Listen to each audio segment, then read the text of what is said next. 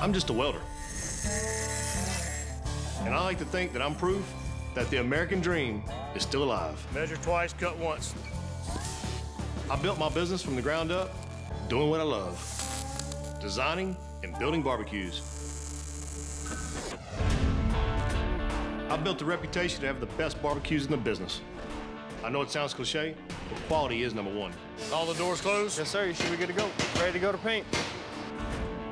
When it comes to barbecue grills, I can pretty much build anything. From a huge trailer cooker, to a catering rig, to a backyard smoker, or an outrageous theme pit. But I can't do it alone. I'm surrounded by some of the best people. Can't believe you didn't even notice anything. I needed that, man. Mike, he's my right-hand man and one of my best friends. Hey, are you making me any money in there? A little bit. I'm costing you more. Now, he's new to the barbecue business, but he'll catch on. Because I'm working my ass out here. I want to make sure you're working your ass off in there. I hope. Z-Yow, come on. Then there's Johnny, All I got to say is Z-Wow. Z, over the top. a.k.a. Z-Man. He's our resident barbecue master. I build them, and he cooks on them. And what's my specialty? Brisket, ribs, chicken, pork butt, whole hog, bacon, bacon, bacon. Z-Yow.